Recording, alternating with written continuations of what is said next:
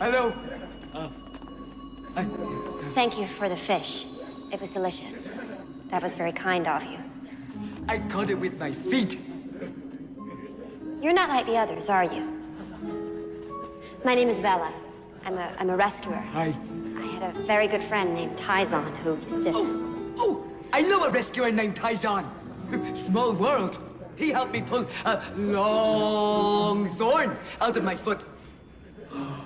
Maybe your Tyzonn and, and my Tyzonn should meet. There can only be one Tyzonn.